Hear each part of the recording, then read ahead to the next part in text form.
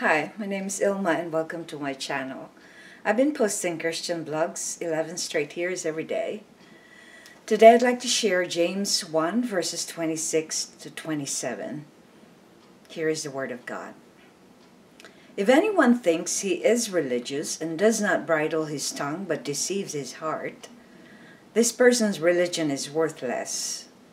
Religion that is pure and undefiled before God the Father is this to visit orphans and widows in their affliction, and to keep oneself unstained from the world. James 1 26 to 27.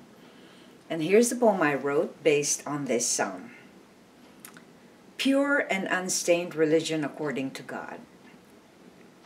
Many religions have their own gods and their ways to reach a certain place. Some think that they can reach that place through works or following a path.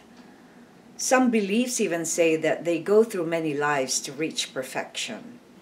Others think that if they can do a lot of good, they maintain their reputation. Some groups of people think that they have to seclude themselves from the rest. Another religion has a point system where they get merits or demerits. So many different kinds of beliefs have plagued mankind for many years they have no understanding of what is pure and unstained according to God. Religion that is pure and unstained according to God is to visit the afflicted. He also commands his elect to keep themselves from being corrupted. When we commit to loving God, we are also charged to love one another. Pure religion is a path where we show compassion to our sisters and brothers Jesus Christ, when we commit to loving God, we are also charged to love one another. Jesus Christ died for us not for a religion, but for a relationship, so that we could depend on his kingship. The Lord requires his people to stay holy, for he himself is holy and majestic. We believe in the Father, the Son, and the Holy Spirit, three in one God those who are in the communion of saints ought to be united in a bond.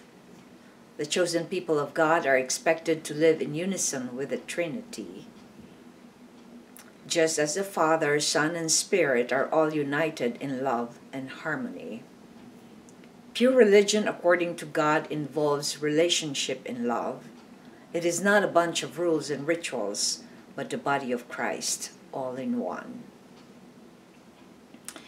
Reflection What is the biggest difference in the concept of religion as to how the world view it and how God sees it? And why do you think compassion and purity is the biggest requirement in God's perspective of pure religion? Though uh, there are so many religions in the world, I think it's more than 3,000, or maybe I might be wrong, there might be more. But the concept of religion in the worldly view is that they follow a certain thing so that they could reach a certain point um, or uh, that they could get married from that and um, have a better life. But the view of God in terms of religion is based on compassion and staying holy or staying pure. Pure from what? Pure from the world system. So there are so many religions that actually belong to the world system because a lot of people do not recognize that the world system is a belief system where you focus on what you can do for yourself. So, in other words, most religions are all about um, reaching a certain destination where they will gain um, comfort or they will gain, you know, um, niceness or goodness. But in terms of God's uh, viewpoint when it comes to religion, He focuses on visiting the orphans and the widows. Okay, this is not literally about just orphans and widows, but this is because uh, the next verse it says, in their affliction. In other words, anyone who is afflicted with a loss or or an ailment or anything or the vulnerable they must have that certain compassion from that one who believes in the Lord Jesus Christ.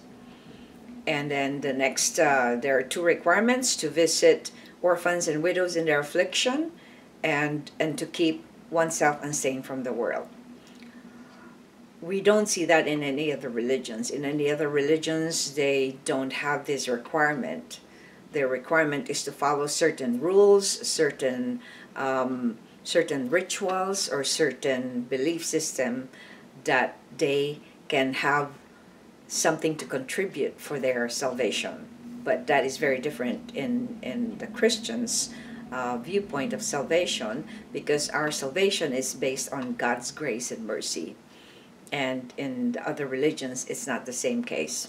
So, since God is love, that is according to 1 John 4,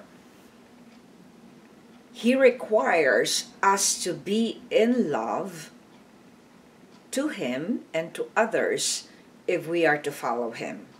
So the religion that is pure according to Him is something that involves a relationship. So Christ didn't just die for a religion, but for a relationship. And um, to keep ourselves unstained from the world, meaning we are set apart from the world system because we do not do what the world does. And that's also said in, in, in 1 John 4 that the world listens to the world. In other words, if you are from the world and you speak according to the world, then the people from the world listens to you. But if you are from God, you you though those who know God listens to you, but those who do not know God does not listen to you. So that is how we are separate from from the worldly religion. So compassion is the act of showing your love for someone, especially in terms of um, pain or affliction. Uh, Jesus Christ didn't die for the rich. He didn't die for the comfortable. He died for those who are in bondage. He died for those who are imprisoned. He died for those who are afflicted, those who are in sorrow, those who are mourning, and all that. So he requires us to follow Jesus, just like what Jesus did when he was here on earth. He he mingled with the poor in the world so that he could show them that relationship is not about earthly things, but it's about love. So that's probably why why James focused on explaining to us what is the importance of understanding what pure and unstained religion is according to God. So I encourage you to reflect on this book of James is a very powerful book, and I think this is a book that every believer should put to heart because it, it is your um, guide to live a life that is holy. Thanks for watching. I hope you check my website at ilmaarts.com for artwork, photographs, and a copy of this blog. Please subscribe to my channel on YouTube so I could make more videos and bring you the Word of God. Thanks for watching.